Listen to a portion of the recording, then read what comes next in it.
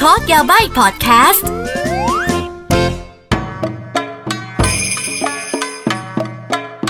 はい皆さんどうもこんにちは สวัสดีค่ะ กลับมาพบกับอากิ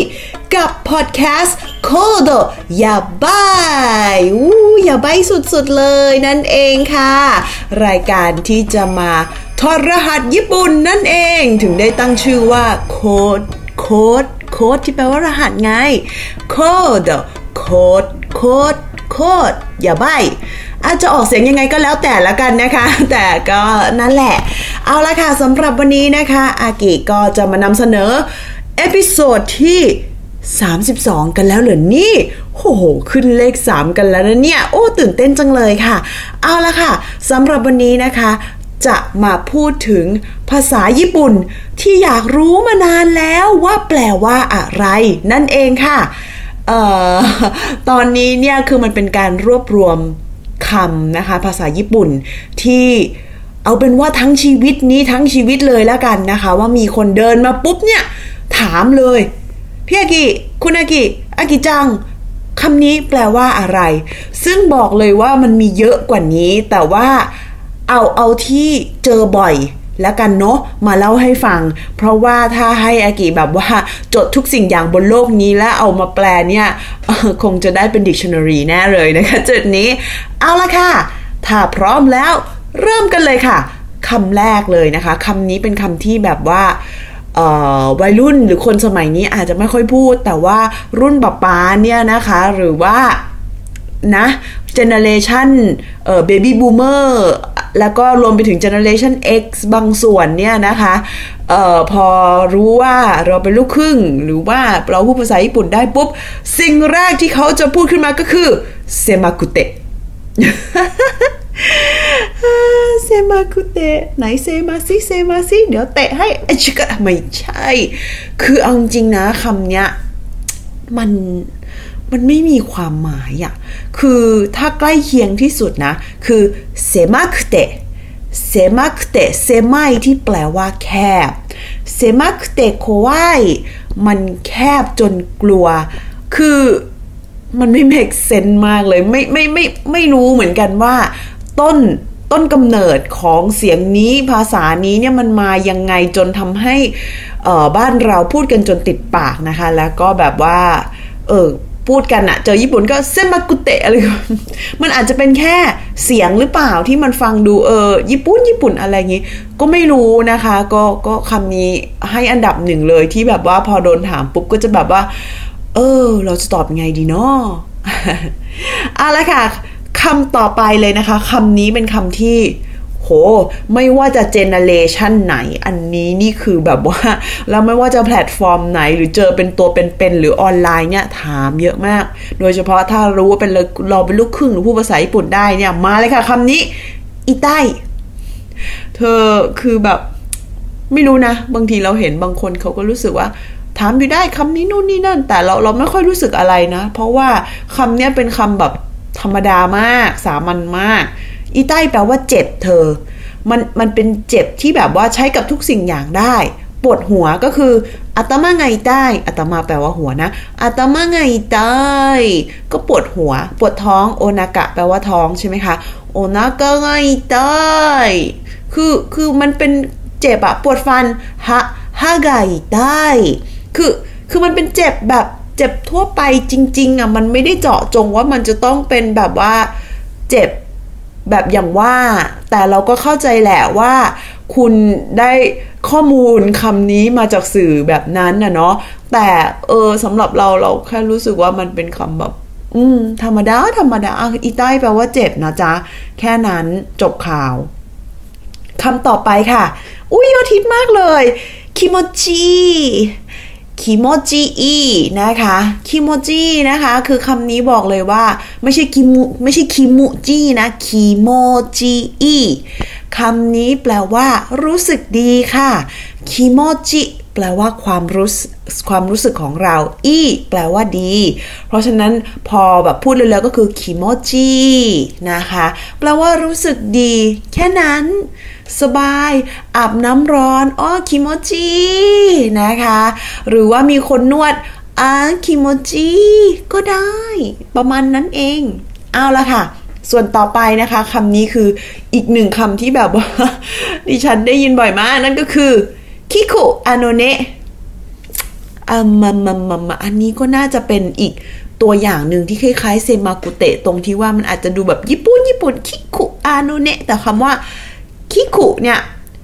คิคุไม่ได้แปลว่าน่ารักนะคิกุแปลว่าได้ยิน มันเป็นเอ่อกิริยาการฟังดีกว่าคิกุอืมองกากุโอคิกุฟังเพลงนะคะฮานาชิโอคิกุฟังเรื่องราวนะคะ หรือว่าอีกคิกุหนึ่งก็คือดอกไม้ ดอกเบญจมาศคิกุโนฮานะนะคะดอกคิกุเพราะฉะนั้นคือมันไม่ได้มีความน่ารักอะไรเลย แต่ว่าเราเข้าใจว่าเสียงมันดูตักแตะกิกุ ดูเป็นญี่ปุ่นนะอากาคิคุส่วนอาโนเนะอะคำนี้ภาษาญี่ปุ่นเนี่ยมันมันมันมันดูเป็นญี่ปุ่นอะเนาะคนญี่ปุ่นเขาพูดติดปากจริงเอออันนี้เราเข้าใจแหละมันก็ทำให้เรารู้สึกว่าพอพูดถึงภาษาญี่ปุ่นปุ๊บมันก็คืออาโนอาโนเนะคืออาโนแปลว่า คืออาโนเนะก็จะออกอารมณ์ว่าคือว่าเวลาเราดูละครหรือดูอนิเมะญี่ปุ่นสังเกตนะคะ เวลาตัวละครเขาจะแบบอ้ำอึ้งคือแบบว่ากำลังจะพูดอะไรบางอย่างแต่แบบเหมือนติดอะไรเขาจะบอกว่า อาโนเออคือหรือว่าถ้าสนิทกันหน่อยก็อาโนเนะนี่คือว่านะ อะไรประมาณนี้ มันเป็นคำติดปากของคนญี่ปุ่นแหละเราก็เข้าใจแหละ เออ เวลาพูดอะไรอาโนซิมาเซอาโนโคโกะโดโกเดสก็คือมันจะมีอาโนอาโนมันจะเป็นแบบคือนิดนึง หรือว่าบางทีมันก็จะเป็นแบบว่าการแบบว่าเหมือนเป็นเป็นเป็นเป็นใช้ติดปากจนแบบเหมือนนำอะ เอาไว้นำเวลาก่อนเข้าบทสนทนาอาโนซีมาเซงเออคือว่าขอโทษนะครับ อะไรประมาณเนี้ย เออนะ มาเรามาต่อกันแบบคำต่อไปเลยแล้วกันนะคะคำนี้ก็ ถ้าเธออ่าดูอนิเมะอ่านมังงะญี่ปุ่นบ่อยๆ เนี่ย ก็คงจะได้ยินเยอะมากเลยนะคำนั้นก็คือเฮนไตเฮนไตแบบอนิเมะญี่ปุ่น เฮนไตนะคะอ่าเฮนไตถ้าแปลตามตัวก็คือ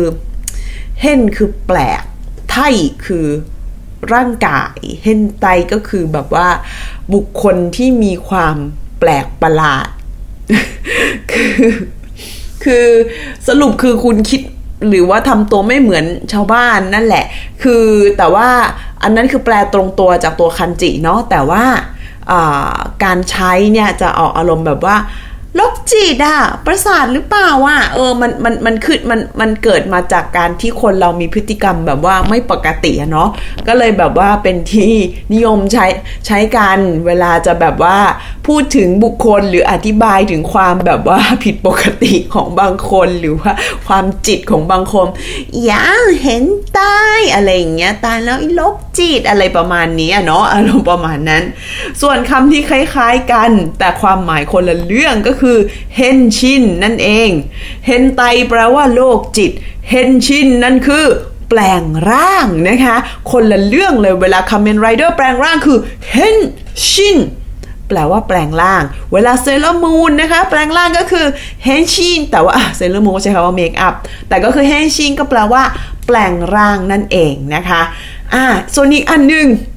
変態 変身 อีกอันหนึ่งเอาพี่ครับ แล้ว戦隊 แปลว่าอะไร 戦隊 คือเป็นแก๊งเป็นกลุ่มเป็นกรุ๊ปนะคะเซนไตก็คือเป็นขบวนการนั่นเอง เพราะฉะนั้นเซนไตเนี่ยจะได้ยินบ่อยจากยอดมนุษย์ 5 สี เออเขามากันเป็นทีมมากันเป็นกรุ๊ปมากันเป็นอ่าอะไรประมาณนี้ เซนไตนะคะเออ อะไรอะไรเซนไตอะไรอย่างนี้เออคิวริวเซนไตจูเรนจาอุ้ยเก่ามากเก่าเนาะอะไรอย่างเงี้ยเออเซนไตก็ก็ห้าสีหรือเป็นเป็นกลุ่มอะไรอย่างนี้ก็ได้นะ เออ อารมณ์ประมาณนั้น เอาเป็นว่าเอ่ออะไรที่มาเป็นกลุ่มเป็นก้อนอะไรเงี้ยเออมันก็จะแบบว่าอะแต่ว่าอันนี้ส่วนมากจะใช้กับเอ่อกลุ่มก้อนที่แบบว่าเพื่อ ไปต่อสู้เพื่อไปอะไรอย่างนี้นะ เออ ไม่ใช่เป็นกลุ่มก้อนแบบอย่างอื่นนะ อันนี้คือแบบว่าเออเพื่อเพื่อการต่อสู้อะไรอย่างนี้เนาะอืมอ่าคิดว่าน่าจะไขข้อปริศนานะคะ ภาษาญี่ปุ่นที่เราได้ยินบ่อยๆ อะไรอย่างนี้ แต่ว่าเราไม่แน่ใจนะคะว่าแปลว่าอะไรนะคะ ไปได้บ้างแล้วเนาะเอาล่ะ ถ้าเกิดใครนะคะมี อย่าว่าคำถามเลยคอมเมนต์ก็ได้นะคะ หรือว่าอะไรที่เกี่ยวกับญี่ปุ่น แล้วก็สงสัยหรือสนใจก็อย่าลืมคอมเมนต์ทิ้งไว้นะคะเอาอย่าลืมกดไลค์กดแชร์ด้วยนะ ก็อากิจะได้ไปทำการบ้านมาแล้วก็มาแชร์กันนะคะ ความรู้บางส่วน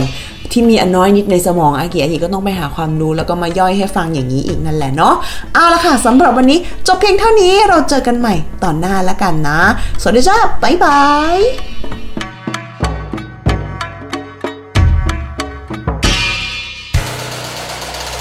ดี้พอดแคสต์ฮูดี้พอดแคสต์เรื่องที่คุณฟังแล้วต้องร้องว่าหูดี